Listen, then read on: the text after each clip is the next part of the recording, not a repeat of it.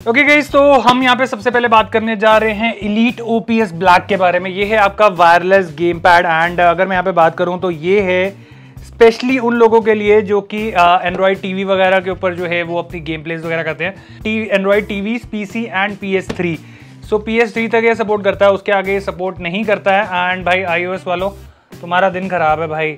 कोई चीज़ चलती ही नहीं है भाई आईओएस के अंदर। अगर मैं यहाँ पे बात करूँ तो इसमें आपको आठ घंटे का बैटरी बैकअप जो है वो देखने को मिल जाता है। एनालॉग ट्रिगर्स आपको यहाँ पे देखने को मिल जाते हैं। डुअल वाइब्रेशन मोटर्स जो है वो आपको यहाँ पे देखने को मिल जाती हैं।